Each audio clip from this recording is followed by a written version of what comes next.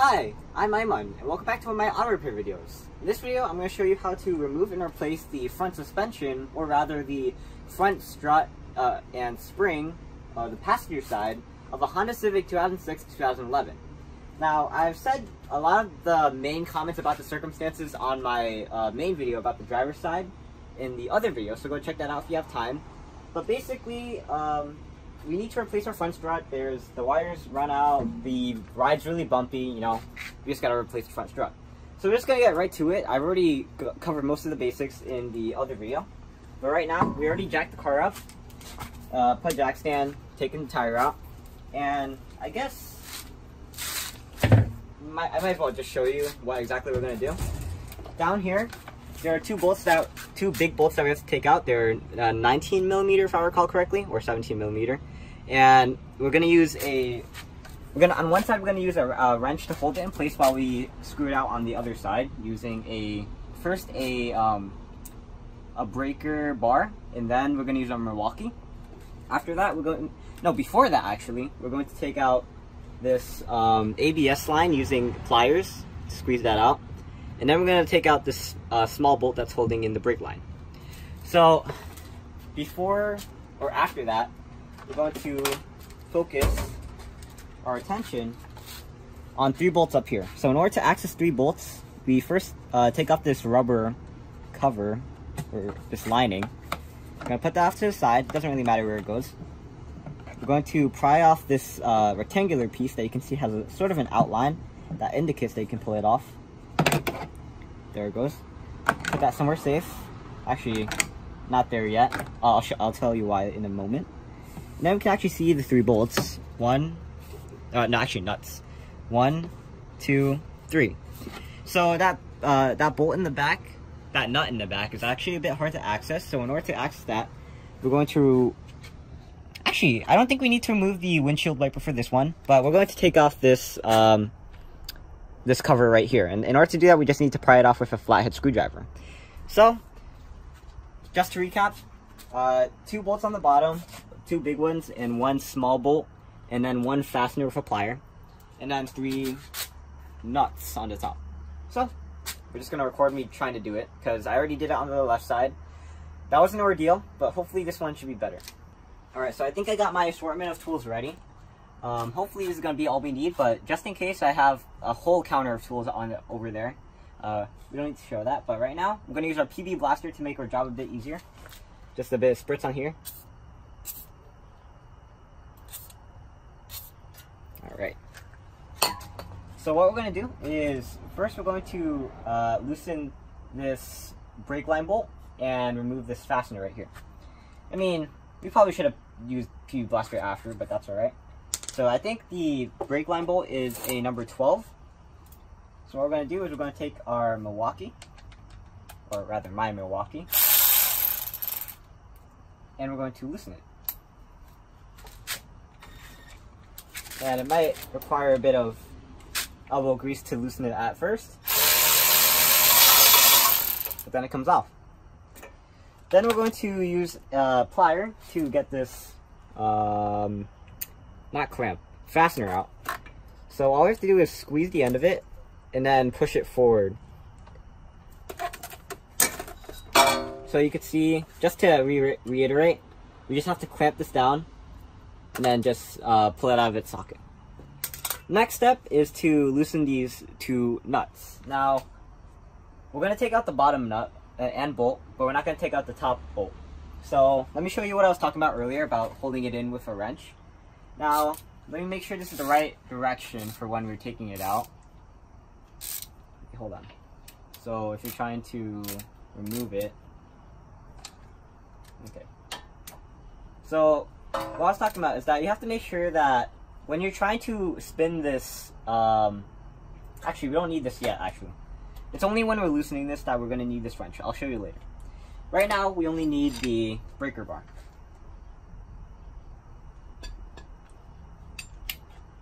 Is this right one? Oh, this is the right one. Okay. What we're to do is we're just going to tighten, uh, loosen it. I do apologize if I'm righty, tighty, lefty. Okay. I do apologize if I'm stepping over myself. It is nighttime, and I've noticed that I get quite a bit uh, disorganized when it's nighttime, but hopefully it's not bad. Righty tighty, lefty loosey means go down. Okay. So we're doing this to make sure that it's loose enough so that we can take it out from Milwaukee. This can be sped up actually. Alright, so now we're going to do the bottom, and it might be a bit tricky to get to. And if that doesn't work, we might have to use a long one, but I think it shouldn't be a problem.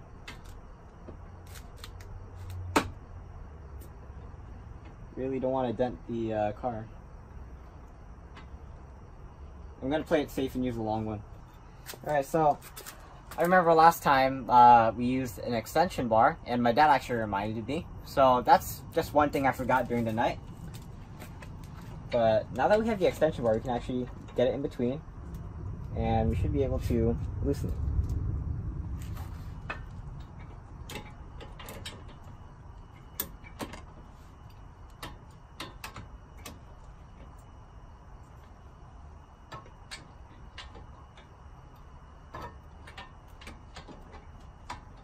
Okay, so now it's loose enough to use the Milwaukee on.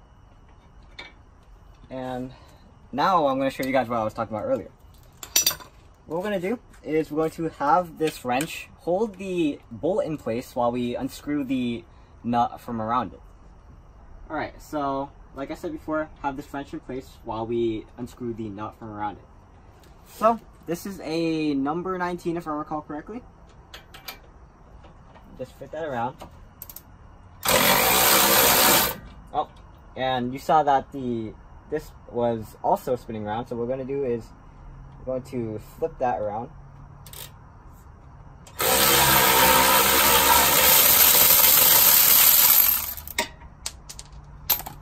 And there's the nut. Alright, so now we're going to move on to the bottom. Get that in position. I'm going to try to control my speed on this this time. Looks like we have to tighten to loosen it just a little bit.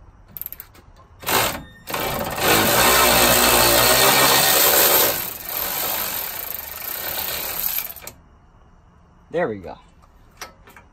So now that we have these ones out, um, right now we, we're going to keep the top bolt in place, but we could take the bottom bolt out. I think, yeah, we're going to take off the bottom bolt. Usually we can use grit, uh, grippers, but I think we're going to use a hammer to make it faster. Alright, we're going to use an extension. Uh, my dad suggested it. It's much more uh, smarter. That way you can just focus it on that one point. And once it goes through that tunnel, you're able to even hammer it further. Alright. That's what the nut looks the bolt looks like.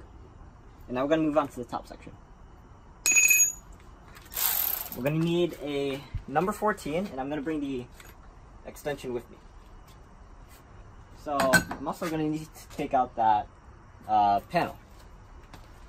I have my trusty flathead screwdriver right here, and what we're going to do is I'm going to just wedge it right in between in that little hole right there. And then just take it out. There we go. I'm going to put that somewhere safe. And you can see that there's an access to that last bolt. Now I'm going to take my uh, Milwaukee. And I'm actually going to do the one in the back first. It seems like it would be easiest. I'm going to take my extension. I'm not sure if this is going to help, actually. I'm going to take my extension, put it on, spinning the right way, insert it in, and make sure I'm on it. Okay. There we go. So as you can tell right now, it's not moving around. So what we're to do is we're to loosen it with a regular wrench. Alright, so again, my dad suggested to me, with all of his wisdom and experience, that I actually do the Milwaukee from uh, this side, which I have much more clearance to uh, actually do it by hand, to loosen it by hand. And if I remember correctly, it's it doesn't matter because the ratchet's for me, but righty tighty lefty loosey and it's loose enough so that we can use the Milwaukee. So if you take a very close look,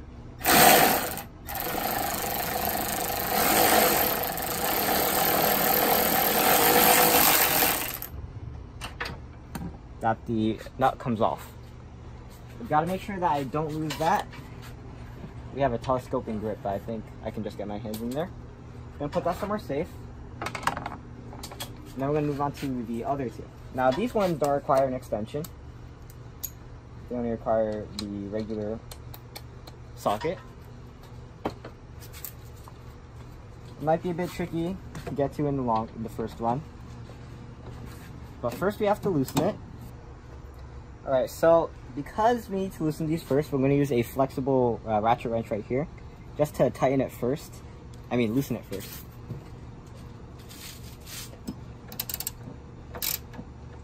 I'm not leaning on it with all my body weight because I really don't want to break the car or dent it. And we're also going to loosen this one while we're at it to make it a bit easier for us. Alright. So now that it's like this, it should be easier to loosen it. And we're just going to use the Milwaukee to make this go just a little bit faster.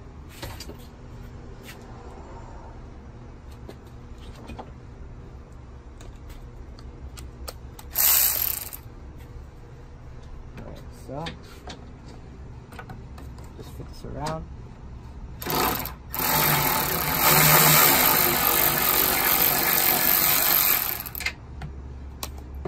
Alright, that's another nut out. I'm to put that somewhere safe. Then take this one out.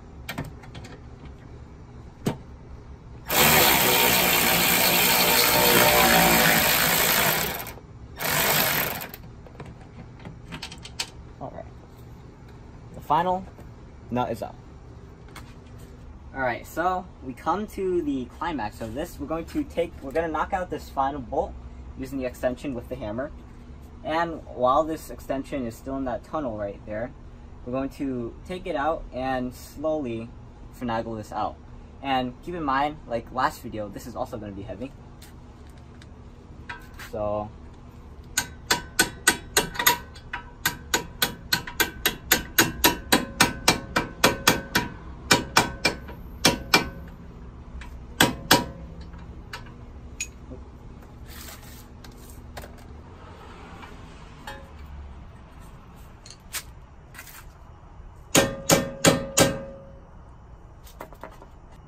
We ended up unscrewing it using a Milwaukee while this uh, extension pushed it out. So now we're going to try taking this extension out and removing this. Now, my dad told me that when you're removing this and you're trying to wiggle this um, assembly uh, towards you, that you don't want to go out too much because it might uh, exit the um, transmission. Now, remembering last time, this was a, a bit of a problem, but we're gonna try it. Let's do it.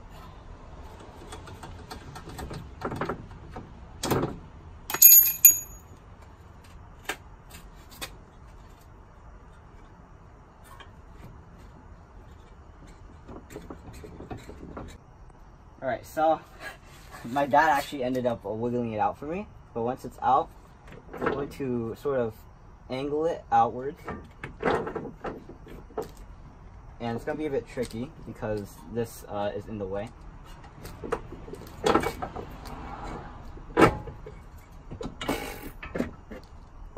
And then we're going to compare it to the new part.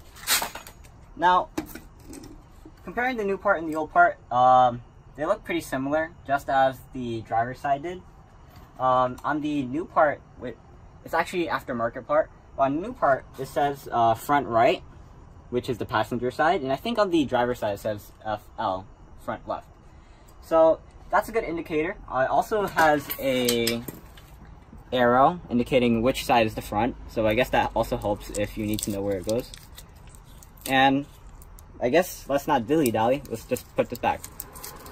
So now we're in the replacement part of this uh, whole process. And replacement is the same as installation, just in reverse.